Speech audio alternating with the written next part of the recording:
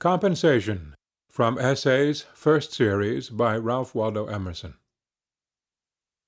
The wings of Time are black and white, Pied with morning and with night; Mountain tall and ocean deep Trembling balance duly keep.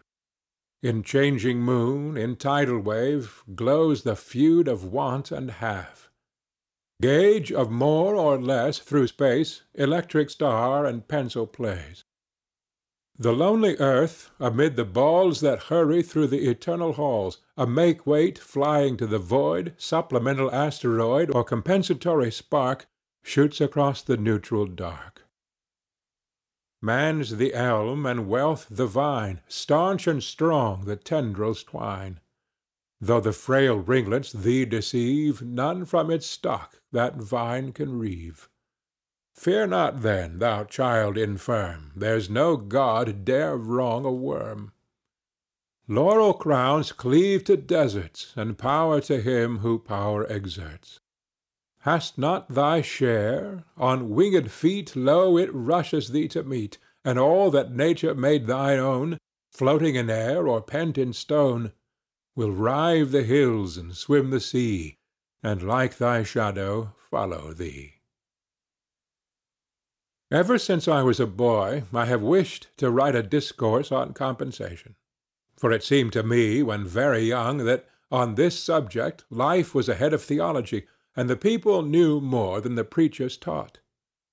The documents, too, from which the doctrine is to be drawn charmed my fancy by their endless variety, and lay always before me, even in sleep. For they are the tools in our hands, the bread in our basket, the transactions of the street, the farm, and the dwelling house, greetings, relations, debts, and credits, the influence of character, the nature and endowment of all men.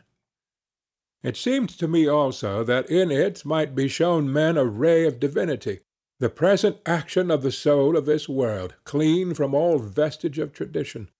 And so the heart of man might be bathed by an inundation of eternal love, conversing with that which he knows was always and always must be, because it really is now. It appeared, moreover, that if this doctrine could be stated in terms with any resemblance to those bright intuitions in which this truth is sometimes revealed to us, it would be a star in many dark hours and crooked passages in our journey that would not suffer us to lose our way. I was lately confirmed in these desires by hearing a sermon at church. The preacher, a man esteemed for his orthodoxy, unfolded in the ordinary manner the doctrine of the last judgment.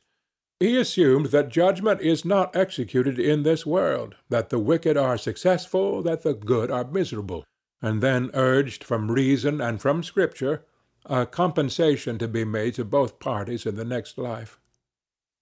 No offence appeared to be taken by the congregation at this doctrine.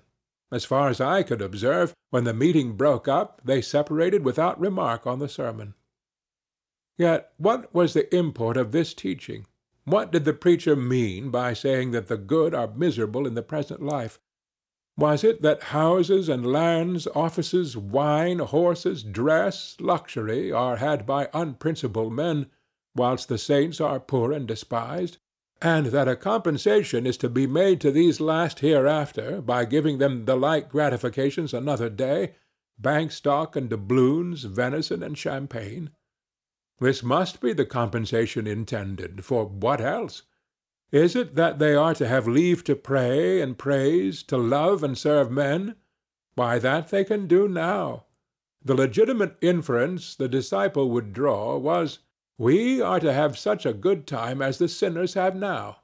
Or, to push it to its extreme import, you sin now, we shall sin by and by. We would sin now if we could.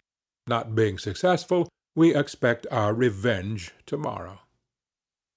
The fallacy lay in the immense concession that the bad are successful, that justice is not done now. The blindness of the preacher consisted in deferring to the base estimate of the market of what constitutes a manly success, instead of confronting and convicting the world from the truth, announcing the presence of the soul, the omnipotence of the will, and so establishing the standard of good and ill, of success and falsehood. I find a similar bass tone in the popular religious works of the day, and the same doctrines assumed by the literary men when occasionally they treat the related topics.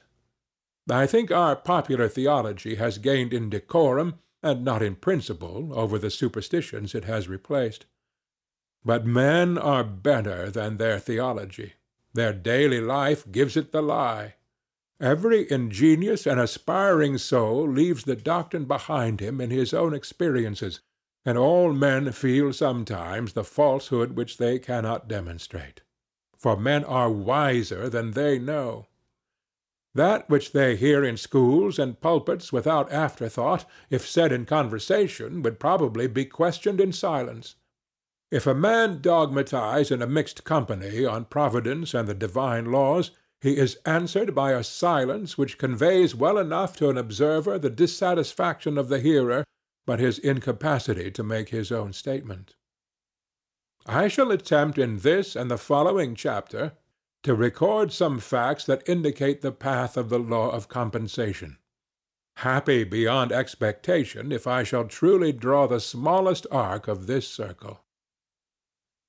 Polarity, or action and reaction, we meet in every part of nature, in darkness and light, in heat and cold, in the ebb and flow of waters, in male and female, in the inspiration and expiration of plants and animals, in the equation of quantity and quality in the fluids of the animal body, in the systole and diastole of the heart, in the undulations of fluids and of sound, in the centrifugal and centripetal gravity, in electricity, galvanism, and chemical affinity. Superinduced magnetism at one end of a needle, the opposite magnetism takes place at the other end. If the south attracts, the north repels. To empty here, you must condense there. An inevitable dualism bisects nature, so that each thing is a half, and suggests another thing to make it whole, as spirit, matter, man, woman odd, even, subjective, objective, in, out, upper, under, motion, rest, yea, nay. Whilst the world is thus dual, so is every one of its parts. The entire system of things gets represented in every particle. There is something that resembles the ebb and flow of the sea, day and night, man and woman, in a single needle of the pine, in a kernel of corn, in each individual of every animal tribe. The reaction, so grand in the elements, is repeated within these small boundaries. For example, in the animal kingdom, the physiologist has observed that no creatures are favorites, but a certain compensation balances every gift and every defect. A surplusage given to one part is paid out of a reduction from another part of the same creature.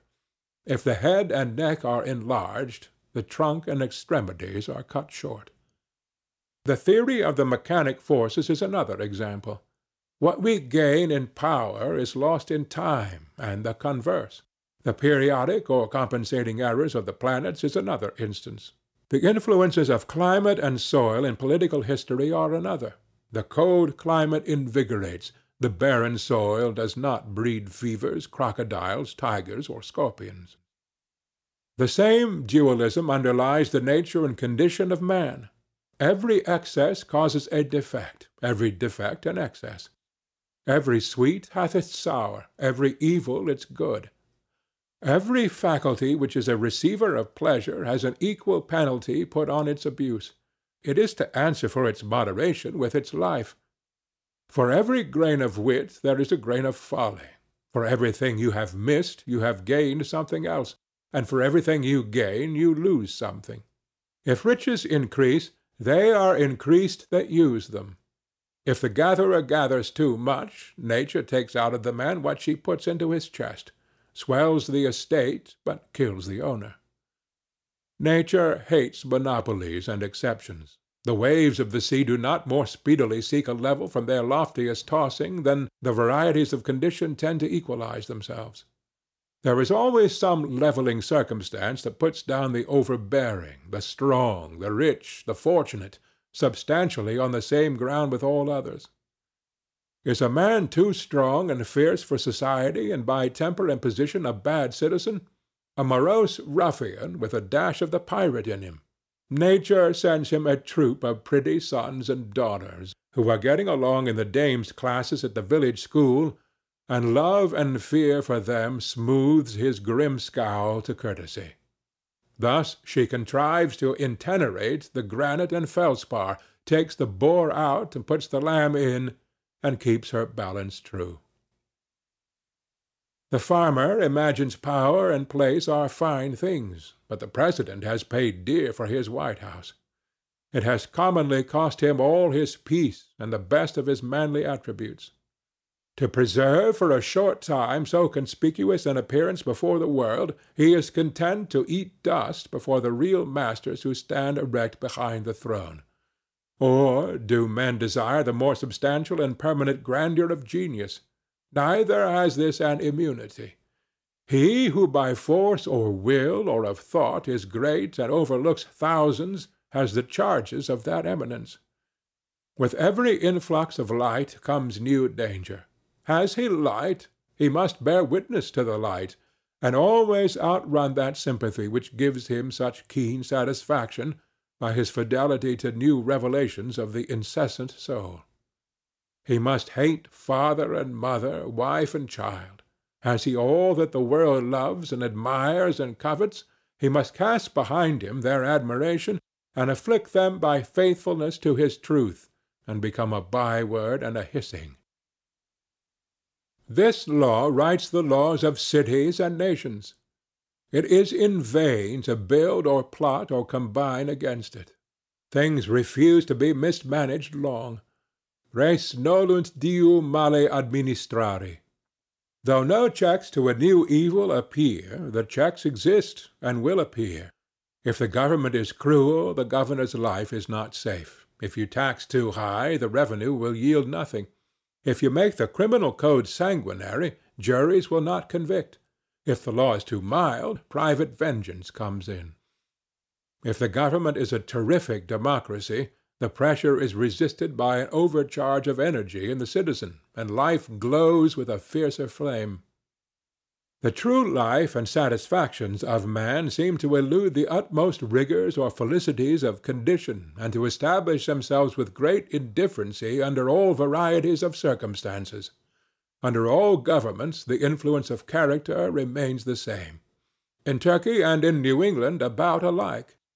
Under the primeval despots of Egypt, history honestly confesses that man must have been as free as culture could make him. These appearances indicate the fact that the universe is represented in every one of its particles. Everything in nature contains all the powers of nature. Everything is made of one hidden stuff, as the naturalist sees one type under every metamorphosis, and regards a horse as a running man, a fish as a swimming man, a bird as a flying man, a tree as a rooted man. Each new form repeats not only the main character of the type, but part for part all the details, all the aims, furtherances, hindrances, energies, and whole system of every other. Every occupation, trade, art, transaction is a compend of the world, and a correlative of every other. Each one is an entire emblem of human life, of its good and ill, its trials, its enemies, its course and its end. And each one must somehow accommodate the whole man and recite all his destiny. The world globes itself in a drop of dew. The microscope cannot find the animalcule which is less perfect for being little. Eyes, ears, taste, smell, motion, resistance, appetite, and organs of reproduction that take hold on eternity, all find room to consist in the small creature. So do we put our life into every act. The true doctrine of omnipresence is that God reappears with all his parts in every moss and cobweb. The value of the universe contrives to throw itself into every point. If the good is there, so is the evil. If the affinity, so the repulsion. If the force, so the limitation. Thus is the universe alive. All things are moral. That soul which within us is a sentiment, outside of us is a law. We feel its inspiration. Out there in history we can see its fatal strength. It is in the world, and the world was made by it. Justice is not postponed. A perfect equity adjusts its balance in all parts of life. Hoi kuboi dios ai epiptusi. The dice of God was always loaded. The world looks like a multiplication table or a mathematical equation which, turn it how you will, balances itself. Take what figures you will, its exact value, not more nor less, still returns to you. Every secret is told, every crime is punished, every virtue rewarded, every wrong redressed, in silence and certainty. What we call retribution is the universal necessity by which the whole appears wherever a part appears. If you see smoke, there must be fire. If you see a hand or a limb, you know that the trunk to which it belongs is there behind. Every act rewards itself or in other words, integrates itself in a twofold manner: first, in the thing or in real nature, and secondly, in the circumstance or in apparent nature. Men call the circumstance the retribution. The casual retribution is in the thing and is seen by the soul. The retribution in the circumstance is seen by the understanding. It is inseparable from the thing, but is often spread over a long time and so does not become distinct until after many years. The specific stripes may follow late after the offence, but they follow because they accompany it. Crime and punishment grow out of one stem. Punishment is a fruit that, unsuspected, ripens within the flower of the pleasure which concealed it. Cause and effect, means and ends, seed and fruit, cannot be severed. For the effect already blooms in the cause, the end pre-exists in the means, the fruit in the seed. Whilst thus the world will be whole and refuses to be disparted, we seek to act partially to sunder, to appropriate. For example, to gratify the senses, we sever the pleasure of the senses from the needs of the character.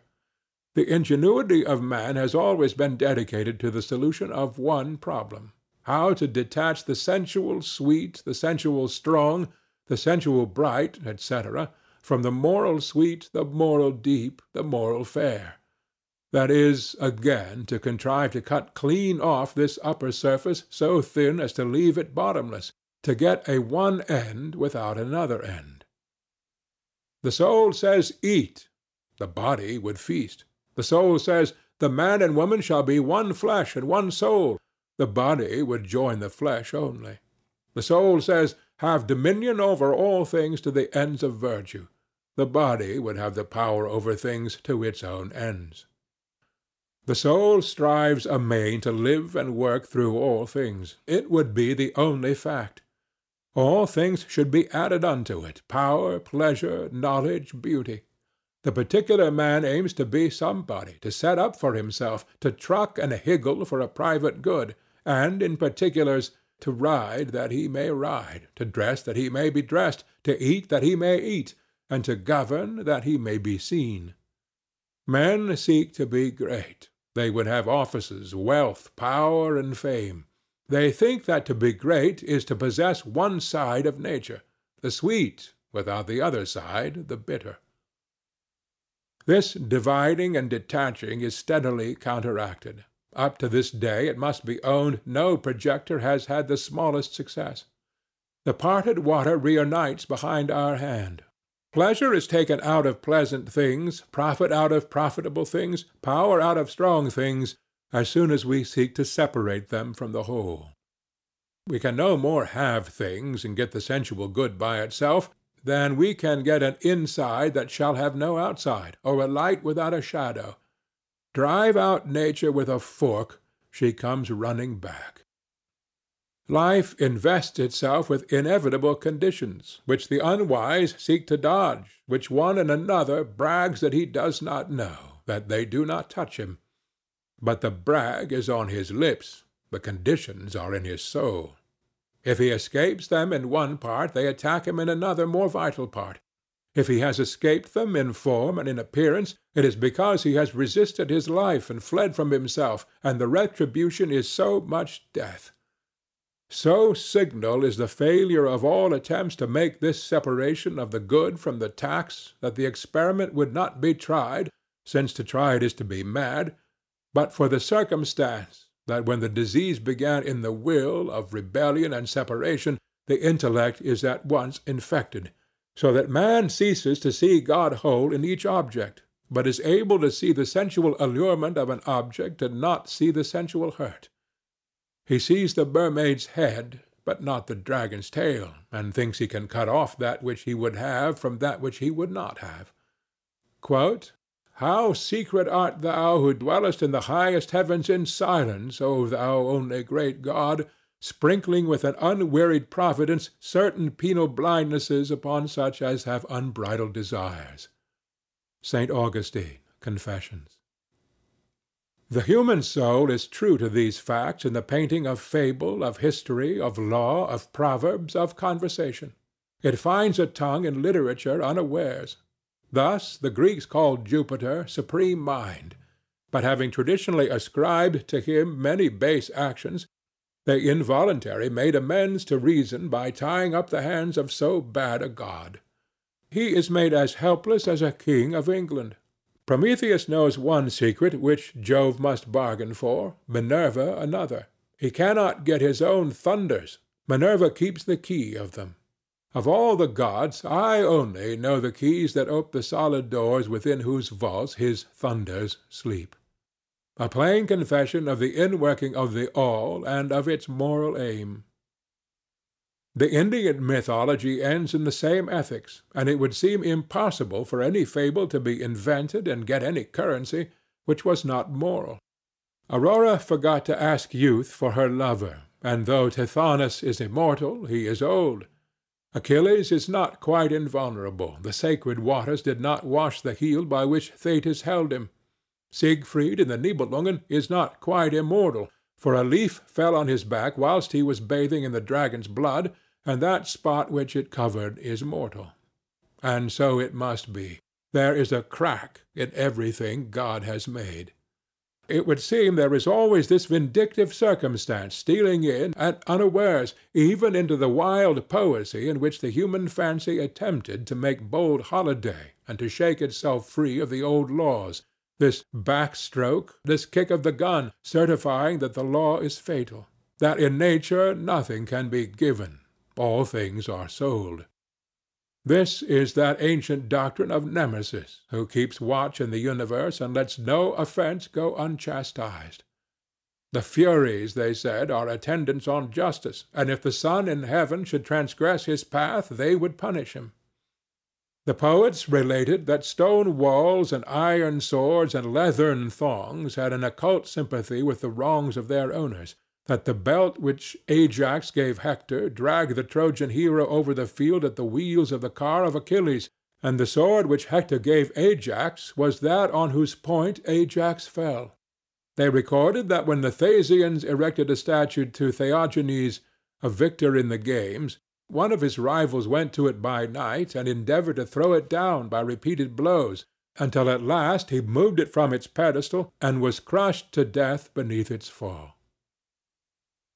The voice of fable has in it something divine. It came from thought above the will of the writer. That is the best part of each writer which has nothing private in it, that which he does not know, that which flowed out of his constitution and not from his too active invention, that which in the study of a single artist you might not easily find, but in the study of many you would abstract as the spirit of them all. Phidias it is not, but the work of man in that early Hellenic world that I would know. The name and circumstance of Phidias, however convenient for history, embarrass when we come to the highest criticism. We are to see that which man was tending to do in a given period, and was hindered, or if you will, modified in doing, by the interfering volitions of Phidias, of Dante, of Shakespeare, the organ whereby man at the moment wrought. Still more striking is the expression of this fact in the proverbs of all nations, which are always the literature of reason, or the statements of an absolute truth without qualification. Proverbs, like the sacred books of each nation, are the sanctuary of the intuitions. That which the droning world, chained to appearances, will not allow the realist to say in his own words, it will suffer him to say in Proverbs without contradiction. And this law of laws, which the pulpit, the senate, and the college deny, is hourly preached in all markets and workshops by the flights of Proverbs, whose teaching is as true and as omnipresent as that of birds and flies. All things are double, one against another, tit for tat, an eye for an eye, a tooth for a tooth, blood for blood, measure for measure, love for love. Give, and it shall be given you. He that watereth shall be watered himself. What will you have? quoth God. Pay for it, and take it. Nothing venture, nothing have. Thou shalt be paid exactly for what thou hast done, no more nor less. Who doth not work shall not eat. Harm watch, harm catch. Curses always recoil on the head of him who imprecates them. If you put a chain round the neck of a slave, the other end fastens itself around your own. Bad counsel confounds the adviser. The devil is an ass. It is thus written because it is thus in life. Our action is overmastered and characterized above our will by the law of nature. We aim at a petty end quite aside from the public good, but our act arranges itself by irresistible magnetism in a line with the poles of the world. A man cannot speak, but he judges himself. With his will or against his will, he draws his portrait to the eye of his companions by every word. Every opinion reacts on him who utters it. It is a thread ball thrown at a mark, but the other end remains in the thrower's bag. Or rather it is a harpoon hurled at the whale, unwinding as it flies a coil of cord in the boat, and if the harpoon is not good or not well thrown, it will go nigh to cut the steersman in twain, or sink the boat. You cannot do wrong without suffering wrong. No man had ever a point of pride that was not injurious to him, said Burke. The exclusive and fashionable life does not see that he excludes himself from enjoyment in the attempt to appropriate it. The exclusionist in religion does not see that he shuts the door of heaven on himself in striving to shut out others. Treat men as pawns and ninepins, and you shall suffer as well as they. If you leave out their heart, you shall lose your own. The senses would make things of all persons, of women, of children, of the poor. The vulgar proverb, I will get it from his purse or get it from his skin, is sound philosophy. All infractions of love and equity in our social relations are speedily punished. They are punished by fear. Whilst I stand in simple relations to my fellow man, I have no displeasure in meeting him. We meet as water meets water, or as two currents of air mix, with perfect diffusion and interpenetration of nature. But as soon as there is any departure from simplicity, an attempt at halfness, or good for me that is not good for him, my neighbor feels the wrong. He shrinks from me as far as I have shrunk from him. His eyes no longer seek mine. There is a war between us. There is hate in him and fear in me.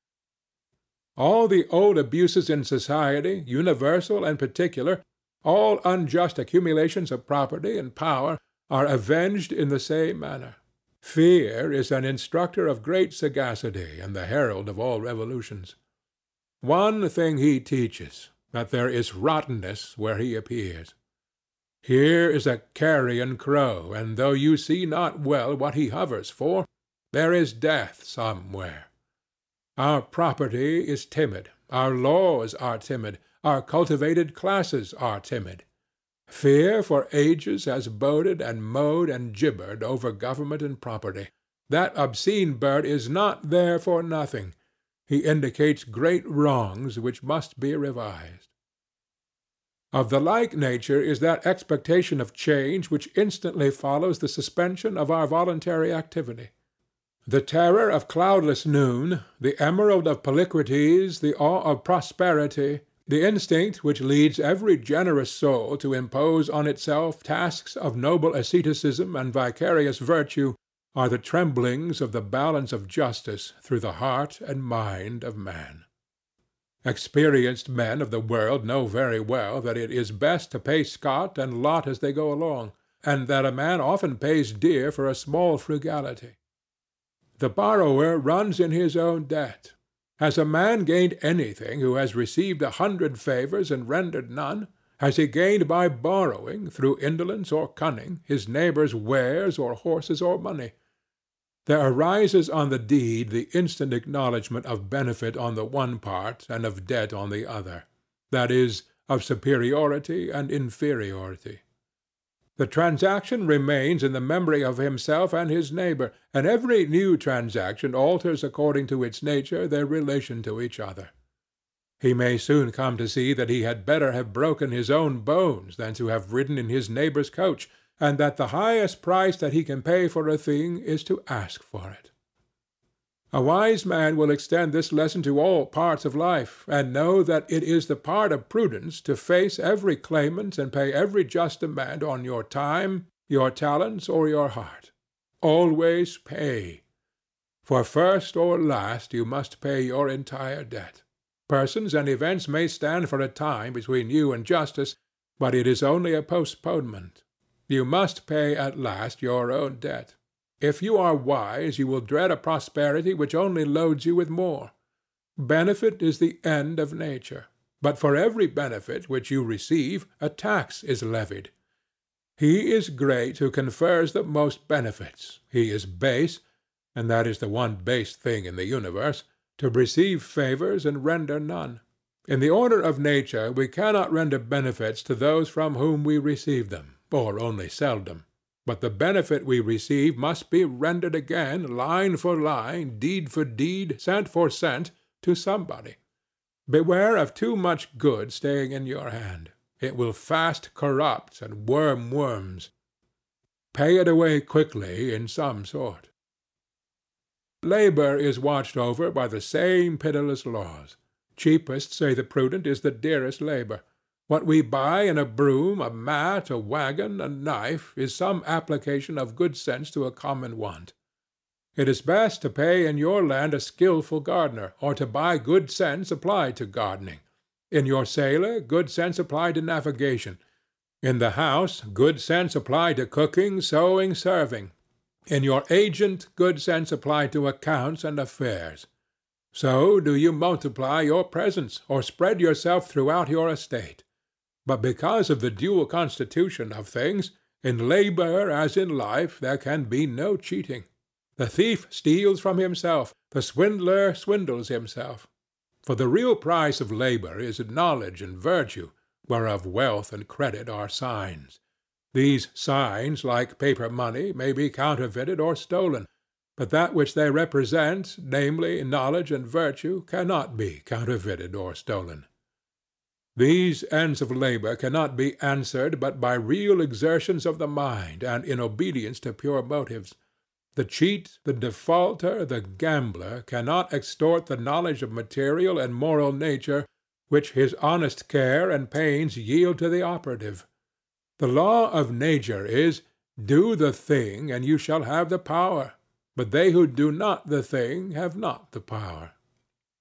Human labor, through all its forms, from the sharpening of a stake to the construction of a city or an epic, is one immense illustration of the perfect compensation of the universe.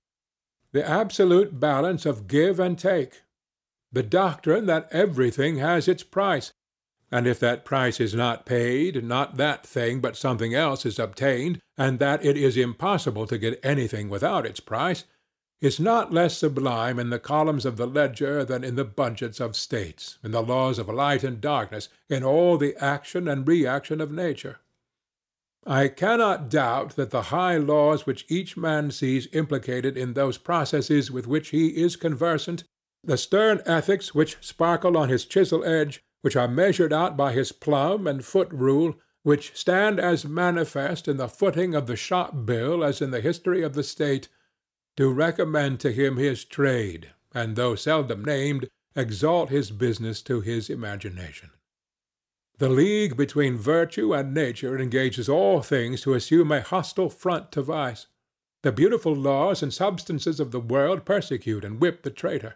He finds that things are arranged for truth and benefit, but there is no den in the whole world to hide a rogue. commit a crime, and the earth is made of glass. Commit a crime, and it seems as if a coat of snow fell on the ground, such as reveals in the woods the track of every partridge and fox and squirrel and mole. You cannot recall the spoken word, you cannot wipe out the foot track, you cannot draw up the ladder so as to leave no inlet or clue. Some damning circumstance always transpires. The laws and the substances of nature, water, snow, wind, gravitation, become penalties to the thief. On the other hand, the law holds with equal sureness for all right action. Love, and you shall be loved. All love is mathematically just as much as the two sides of an algebraic equation. The good man has absolute good, which like fire turns everything to its own nature, so that you cannot do him any harm.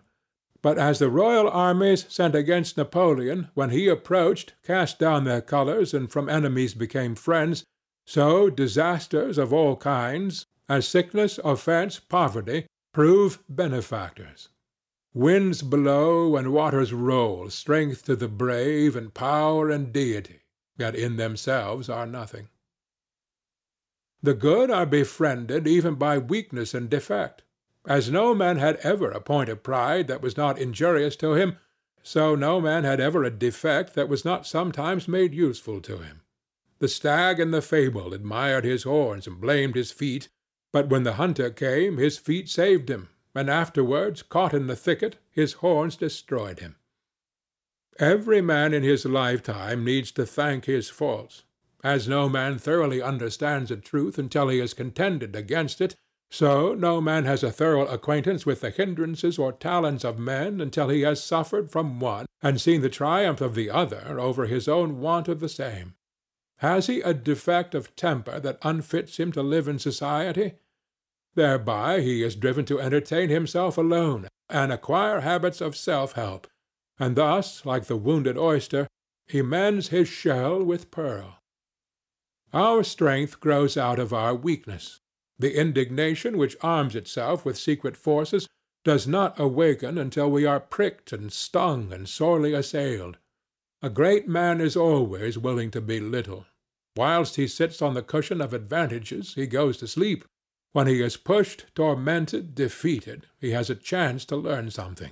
He has been put on his wits, on his manhood. He has gained facts, learns his ignorance, is cured of the insanity of conceit, has got moderation and real skill.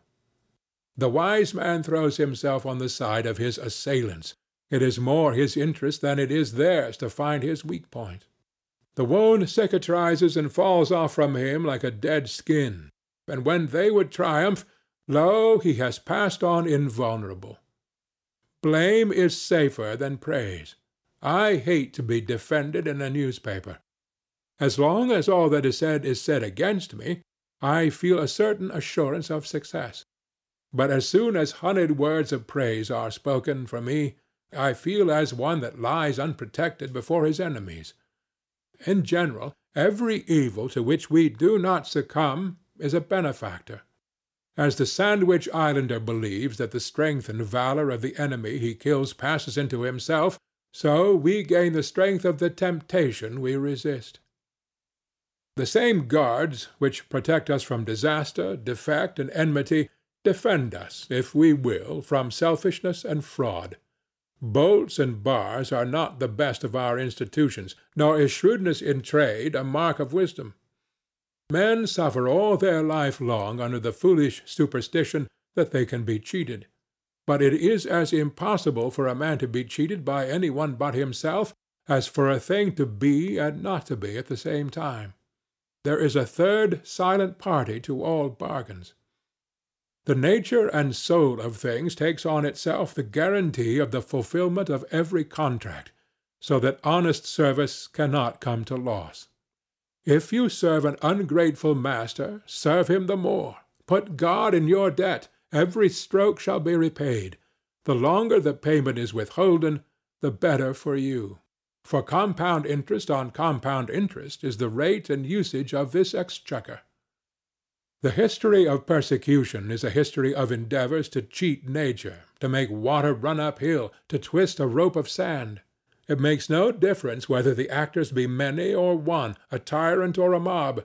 A mob is a society of bodies voluntarily bereaving themselves of reason and traversing its work. The mob is man voluntarily descending to the nature of the beast. Its fit hour of activity is night. Its actions are insane like its whole constitution.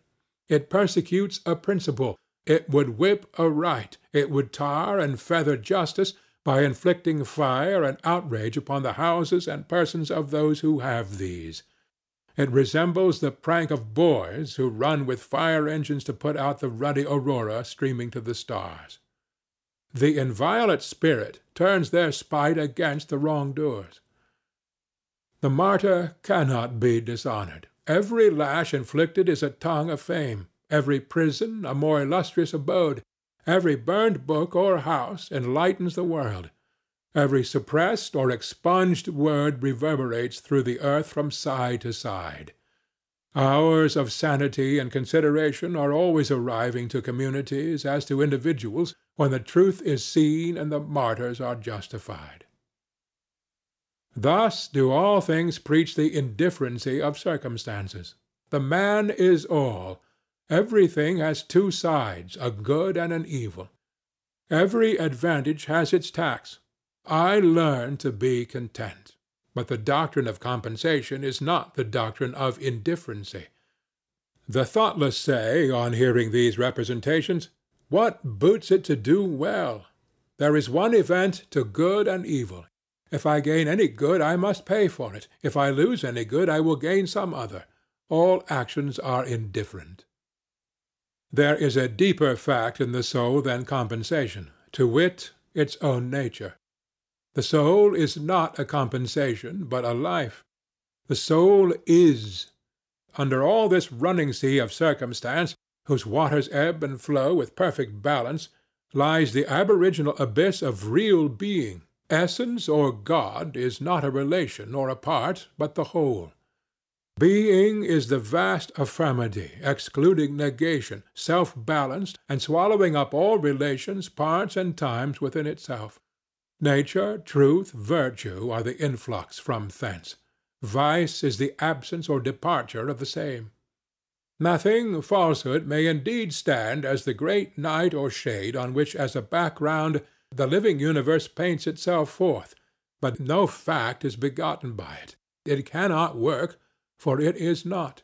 It cannot work any good. It cannot work any harm. It is harm inasmuch as it is worse not to be than to be. We feel defrauded of the retribution due to evil acts because the criminal adheres to his vice and contumacy and does not come to a crisis or judgment anywhere in visible nature. There is no stunning confutation of this nonsense before men and angels. Has he therefore outwitted the law? Inasmuch as he carries the malignity and the lie with him, he so far decreases from nature. In some manner there will be a demonstration of the wrong to the understanding also. But should we not see it, this deadly deduction makes square the eternal account. Neither can it be said, on the other hand, that the gain of rectitude must be bought by any loss. There is no penalty to virtue, no penalty to wisdom. They are proper additions of being. In a virtuous action I properly am. In a virtuous act I add to the world. I plant into deserts conquered from chaos and nothing, and see the darkness receding on the limits of the horizon. There can be no excess to love, none to knowledge, none to beauty, when these attributes are considered in the purest sense. The soul refuses limits, and always affirms an optimism, never a pessimism. His life is a progress, and not a station. His instinct is trust.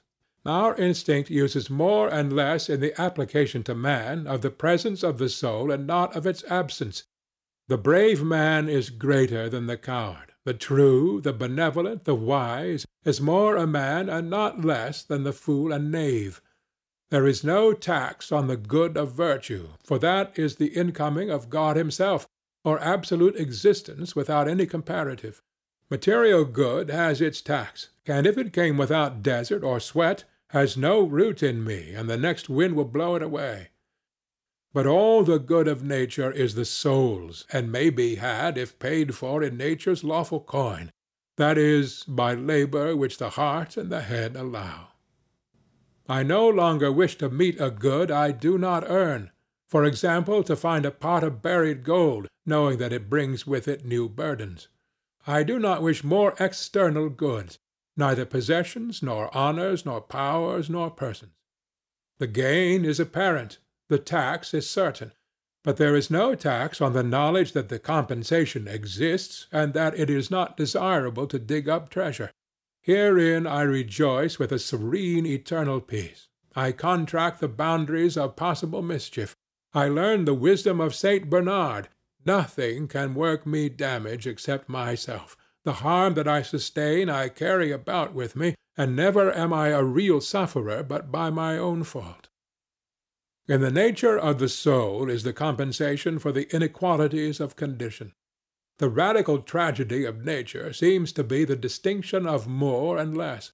How can less not feel the pain? How not feel indignation or malevolence towards more? Look at those who have less faculty, and one feels sad and knows not well what to make of it. He almost shuns their eye. He fears they will upbraid God. What should they do? It seems a great injustice. But see the facts nearly, and those mountainous inequalities vanish. Love reduces them as the sun melts the iceberg in the sea. The heart and soul of all men being one, this bitterness of his and mine ceases. His is mine. I am my brother, and my brother is me. If I feel overshadowed and outdone by great neighbors, I can yet love, I can still receive, and he that loveth maketh his own the grandeur he loves.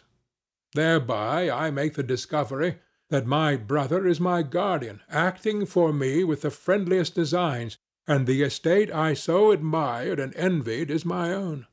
It is the nature of the soul to appropriate all things. Jesus and Shakespeare are fragments of the soul, and by love I conquer and incorporate them in my own conscious domain. His virtue, is not that mine? His wit, if it cannot be made mine, it is not wit. Such also is the natural history of calamity.